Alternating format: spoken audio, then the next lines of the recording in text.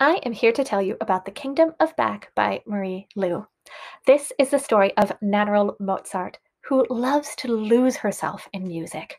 Her father allows her to perform at the piano and encourages her in that, but he won't allow her to compose music herself because it's not proper for a lady.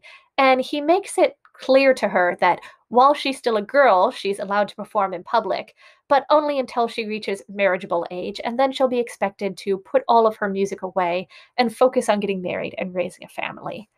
Meanwhile, she has a younger brother, Wolfgang Amadeus, who absolutely adores her and wants to play the piano as well, and he is actually really good.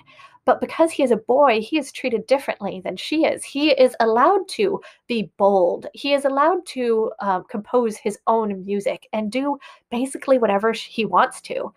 They are really close and they perform together all over Europe.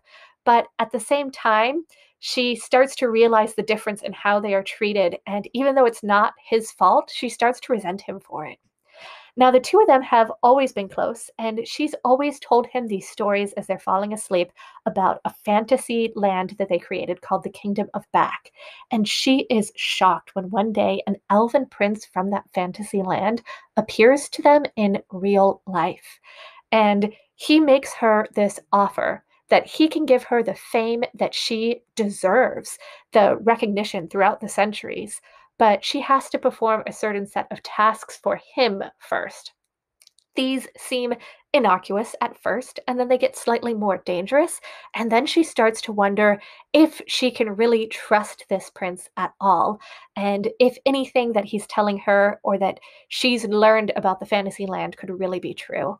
And this is all happening while she's getting closer and closer to that marriageable age and the expiration uh, date on her career as a performer of music. And as her younger brother is starting to get more and more popular and start to eclipse her in um, fame and in prestige. And so she has to make a choice as to how she wants to be remembered and what she is willing to sacrifice to get that.